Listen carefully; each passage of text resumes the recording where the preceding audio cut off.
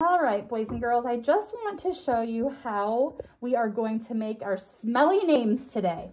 Um, I already have, pretend this is your name. I just wrote the word name on here. But you're going to be tracing your letter of your name. Remember, the first letter is always the uppercase letter. All right, so after you put glue on it, let's see, I'm going to take this crushed rosemary I'm just going to sprinkle it all over that letter. And then you're probably going to need some help from your mom or dad with this. Um, let me get my garbage can.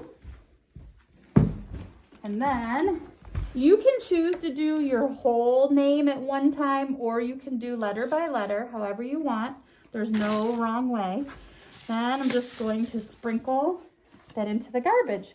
If you want, you could even shake this um, onto a box or something and reuse these spices if you want to do that too.